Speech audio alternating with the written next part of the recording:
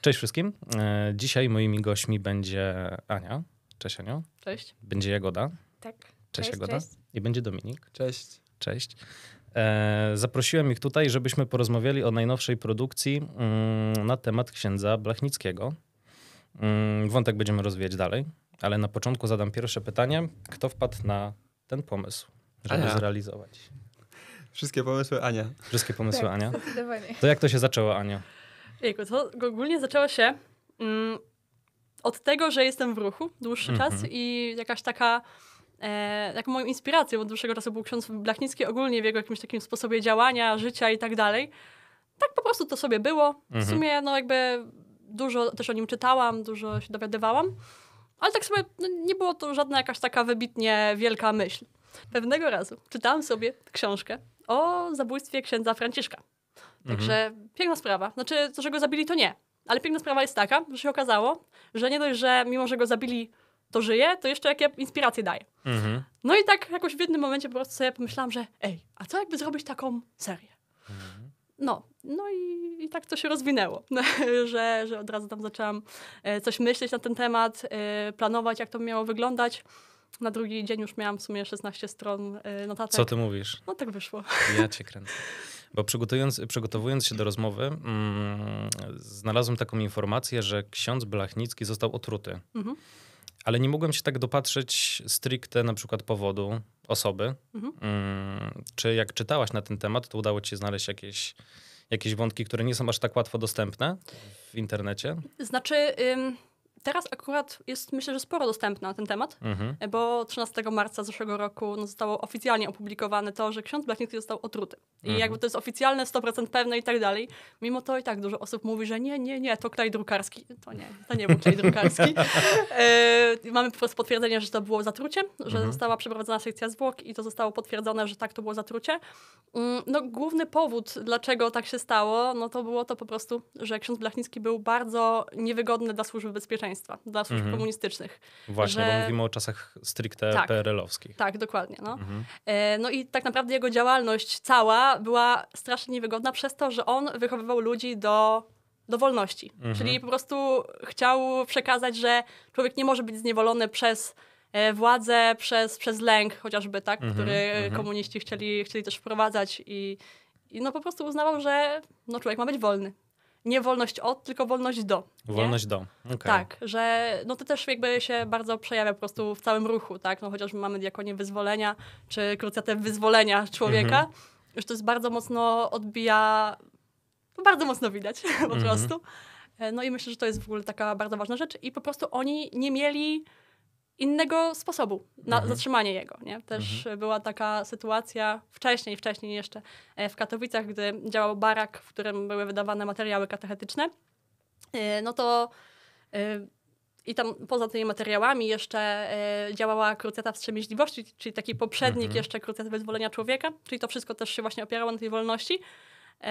No i w ogóle była taka sytuacja, że w ciągu tam trzech lat y, działania tej krucjaty nastąpił jedyny w historii polskiej powojennej spadek e, spożycia alkoholu w Polsce. Co jak na tamte czasy było czymś, tak, to było czymś I naprawdę... mówimy o czasach z głębokiej komuny. Tak, tak, dokładnie. No, Ja cię kręcę. czy tam na przykład no, prawie połowa kleryków podpisała Mhm. krucjatę, nie? Świetnie. Nie piła alkoholu. E, wspomniałaś, że e, zaczęło to się w Katowicach. Mm, Znaczy, no, działalność ta baraku. mhm. E, Mhm. Skąd pochodził ksiądz Blachnicki? Y, stricte pochodził z Rybnika. Mhm. Tam swoje pierwsze, pierwsze lata życia przeżył. Później się przeniósł do Tarnowskich Gór. Tam też skończył gimnazjum, tam jakoś tak dorastał. Tam Mhm. też wstąpił do harcerstwa i tak to się wszystko jakoś tam dalej toczyło. W tych czasach było ZHP już? Ja nie ZHP. Tak, ZHR powstało później. Z tego, Mhm. co mi się wydaje, on właśnie był ZHP. Jeszcze Okej. przed tymi wszelk- wszelkimi jakimiś reformami różnymi. Mhm. To było tylko jedno. Nie E, wyboru. Chciałem was wszystkich e, zapytać jeszcze o to, mm, bo czytając jego życiorys, mm, tak znalazłem informację, że pochodził z rodziny wielodzietnej. Mhm. Było ich dużo. Mm, Ale moje pytanie do Was jest takie: y, co skłoniło księdza Blachnickiego do tego, żeby wstąpić w stan kapłaństwa? Ja myślę, że y, trzeba zaznaczyć, że ksiądz Blachnicki do, y,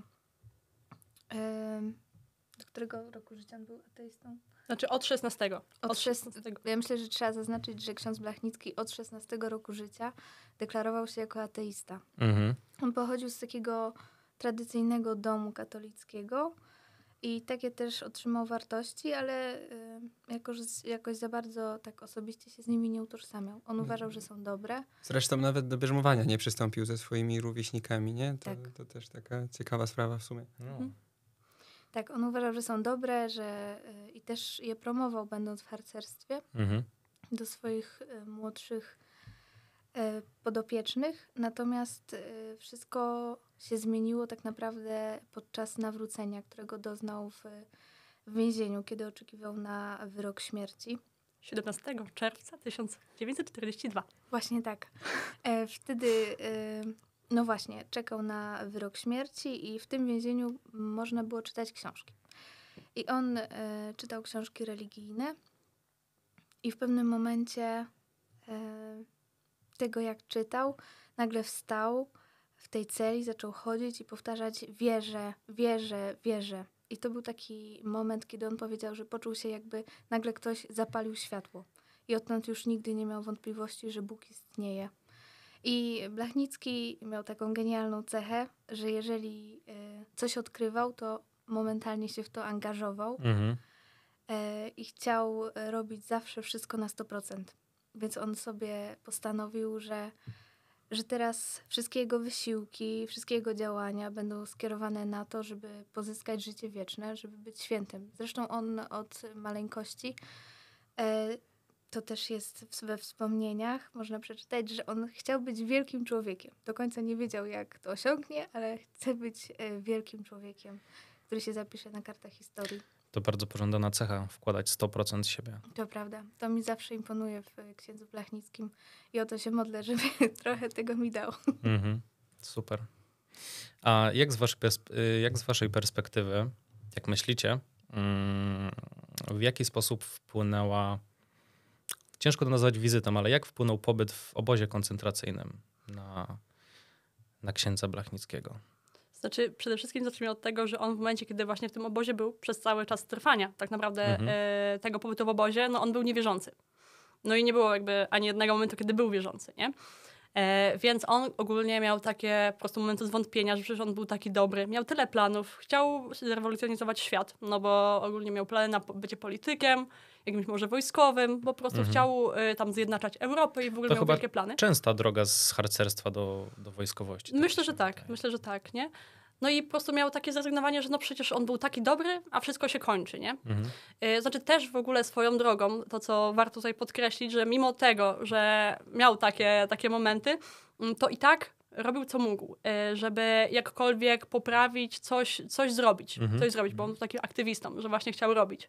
Więc jak miał e, możliwość do tego, że po prostu był taką osobą, bo tą SS-mani wyznaczali osobę, która y, dowozi bodajże jedzenie, czy tam Mhm. mleko rodzinom właśnie tych, tych tam y, oficerów, to on korzystając z okazji wynosił jakieś informacje, coś wnosił, żeby też po prostu pokazać, że to nie jest wcale taki obóz, no taki więzienie, tylko że to jest po prostu obóz pracy, no obóz, w którym giną ludzie, nie? Więc on zawsze po prostu musiał coś robić. I to w ogóle Mhm. też było piękne, że mimo tego, że wiedział, że możliwe, że w ogóle tego nie przeżyje, e, to i tak uznał, że to jest większe dobro, nie? Mhm. Mimo tego, że był niewierzący. No i swoją drogą, że e, w tym samym czasie przebywał Maksymilian Kolbe, ojciec Tak. Maksymilian. Tak, tak. E, No i czy Blachnicki się z nim spotkał? No Właśnie. prawdopodobnie nie. Nic na ten temat nie wiadomo, nic na ten temat ksiądz Blachnicki nigdy nie mówił.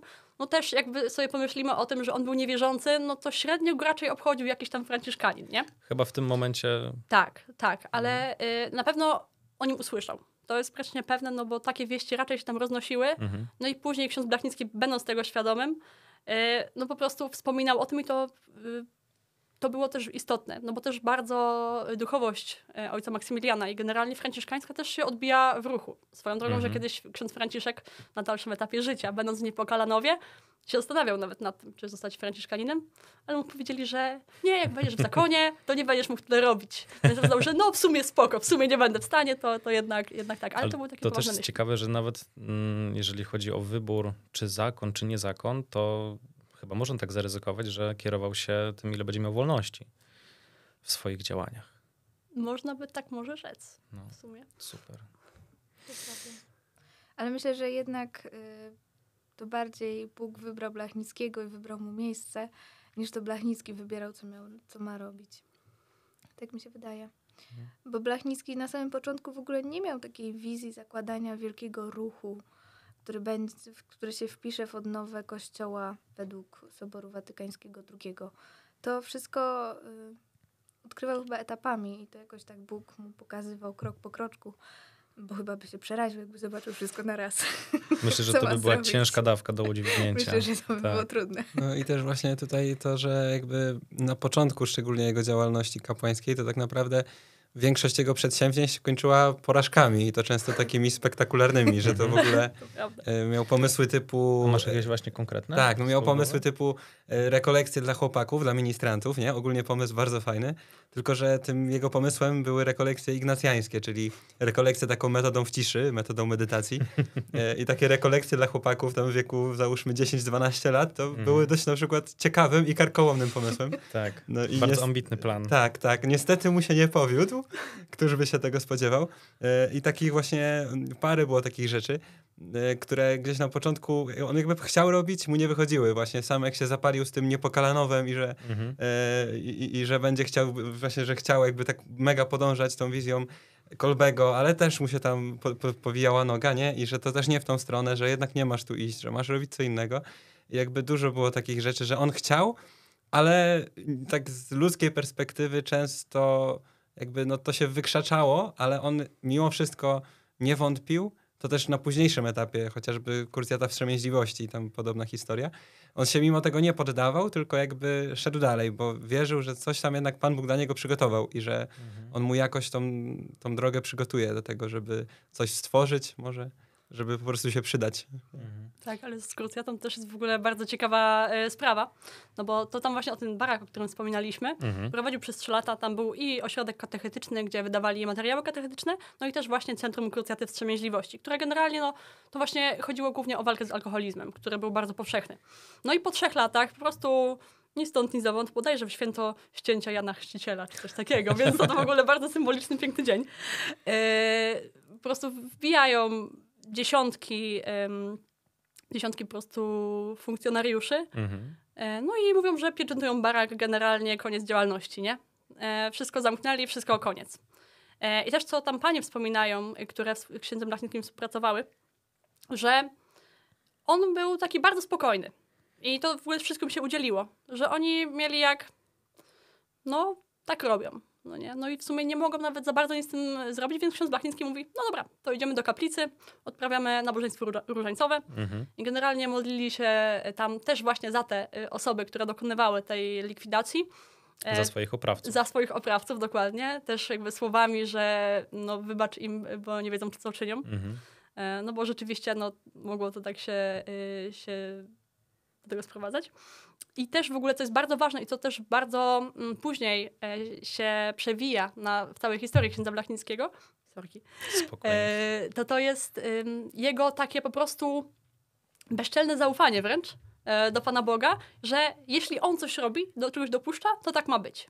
To, co ksiądz y, Blachnicki później, y, później zrobił, to powiedział, że jeśli e, to zostało właśnie zakończone, jeśli chcieli to skończyć, to znaczy, że to było coś, co było szatanowi bardzo, bardzo mm, nie na rękę Mhm. że to y, właśnie, że to zostało zlikwidowane, y, pokazuje, że to było dzieło Boże, bo rzeczywiście z tym chcieli walczyć, nie? Ci, którym to nie odpowiadało.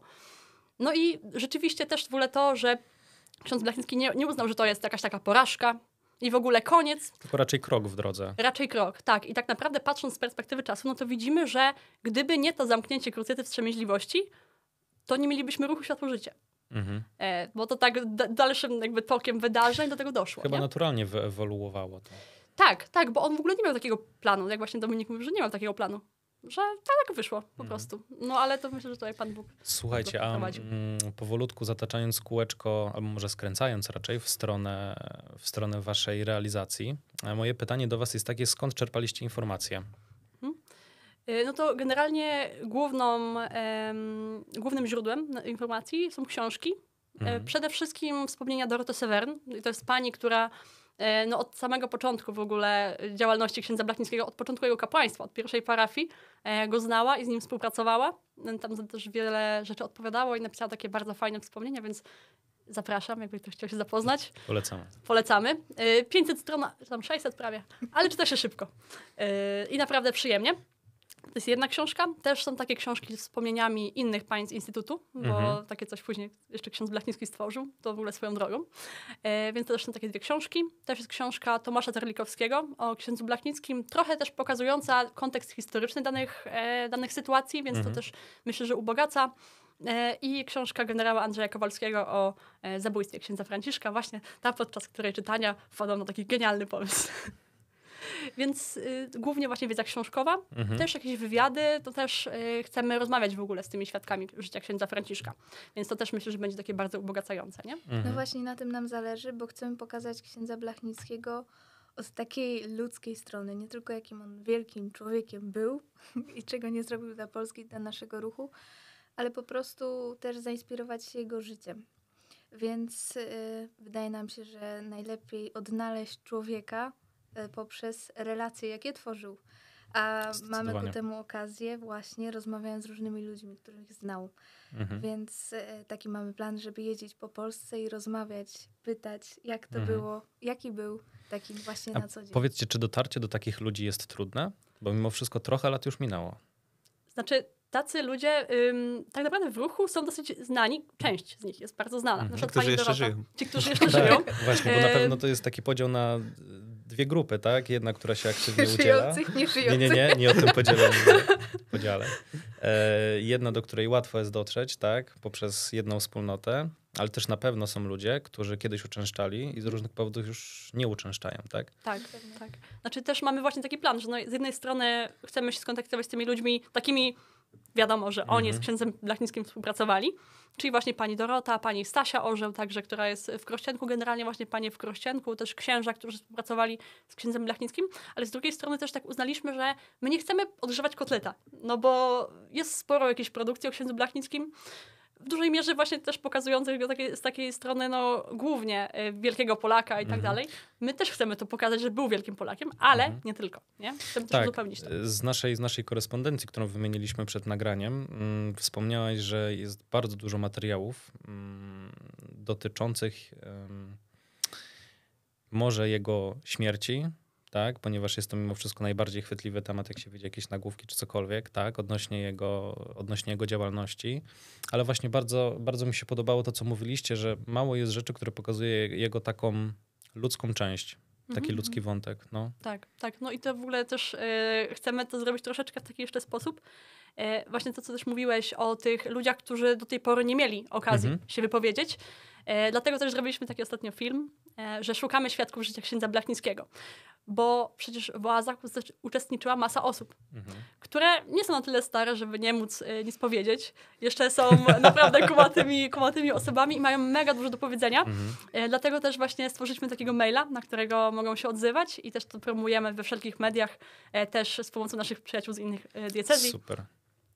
I rzeczywiście ludzie się odzywają i będziemy do takich osób jeździć, co myślę, że będzie fajnym ubogaceniem, nie? że też będzie coś innego, coś nowego. To pierwsza rzecz, jak się nazywa ten film i gdzie można go znaleźć? E, Seria będzie nazywała się Droga do źródła e, i będzie na kanale Oaza Gdańsk na YouTubie. Super. A jeżeli chodzi o tego maila, na którego mogą się zgłaszać ludzie? Okej, to jest mail ddz.blachnicki małpa gmail.com. Super.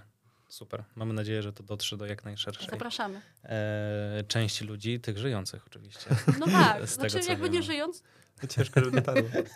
ale myślę, że sp- wspomagają z góry ci, co nie żyją. Na pewno. Tak, tak myślimy. Tak, było ostatnio parę fajnych historii, jak nagrywaliśmy właśnie, e, właśnie jak nagrywaliśmy ten film z zapraszaniem ludzi, e, chociażby do jednej tam ze scen e, było, że czy znasz, jeśli znacie ludzi, którzy przesyłali na przykład węgiel do Krościenka pocztą, bo to też jedna z takich licznych Wspaniały ciąg historii. myślowy. W sensie? W sensie, że jeżeli znacie osoby, które wysyłały węgiel do Krościenka. No, Niesamowite. tak, bo to się bardzo łączy z księdzem Tak. Blachnickim i jego tom. Tak. E, I właśnie em, potrzebny był węgiel do tego, żeby Mhm. to nagrać. No i e, poszliśmy kupić ten węgiel do, do żabki. Tak, mieliśmy na celu go kupić. E, no i się pytamy pani, czy, czy jest tam węgiel, a pani mówi, że jest węgiel. No i bierze węgiel, 2,5 kilo węgla, skanuje je, a, ta, je, a skanuje ten węgiel, a tam jej wyskakuje, że nie ma takiego produktu jakby, Tak. że nie, nie może go zeskanować. I ja rzucam, że no to może być za darmo, nie? Ja się nie obrażę. No i pani dała za darmo. Dało za darmo. Tak, No. i był węgiel za darmo na przykład do nagrywania. No nie, więc jakby to też są takie małe rzeczy, a które też w jakiś sposób pokazują, no, że to raczej nie jest tak, że za każdym razem się tak dzieje, jak kupujesz Mhm. sobie węgiel, nie? E, I jest to w jakiś, jakiś sposób e, no takie, o, e, takie pokazujące, że jakby to nie jest taki tylko nasz wymysł, tylko że to rzeczywiście jest coś dobrego.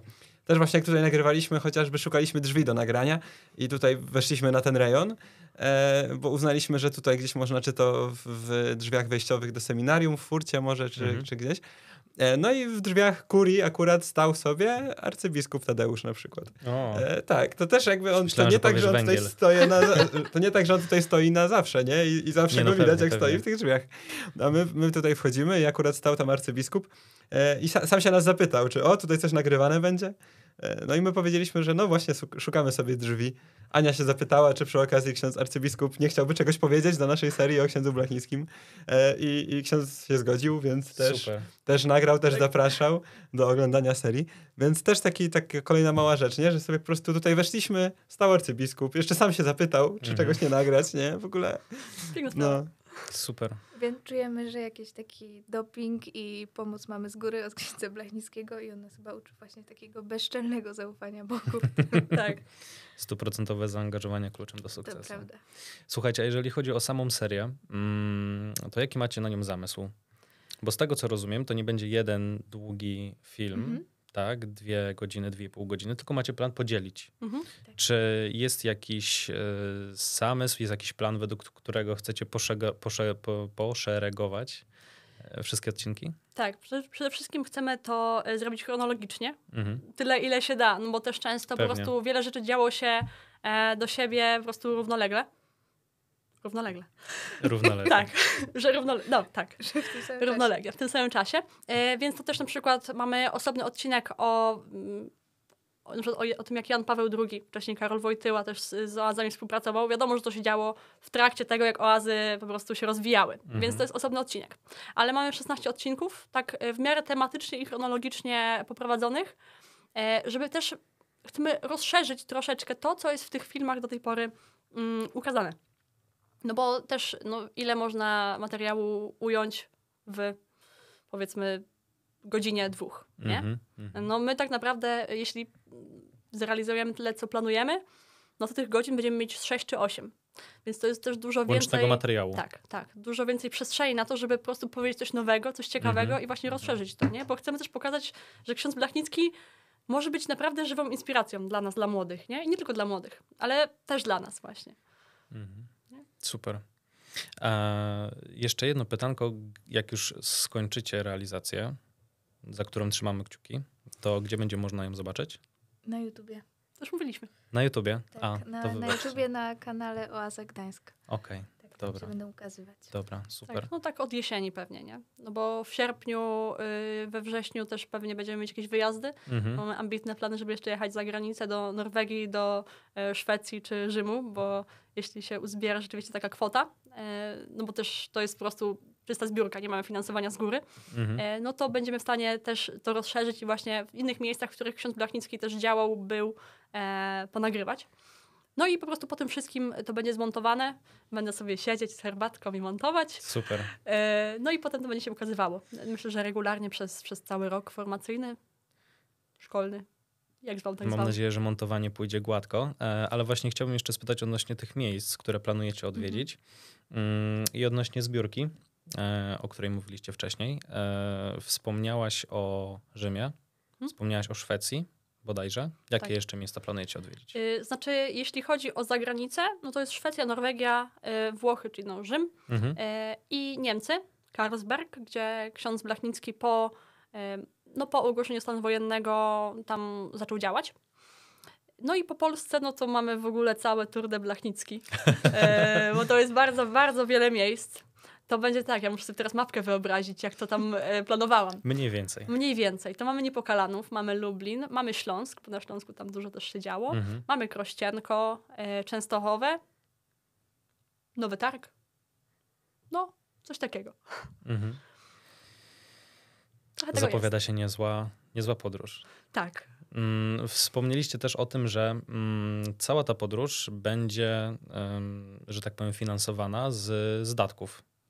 Tak, tak. Prowadzimy zbiórkę, y, gdzie zbieramy właśnie finanse na tę naszą podróż, bo y, no, robimy to non-profit, y, więc ku większemu dobru Mhm. generalnie.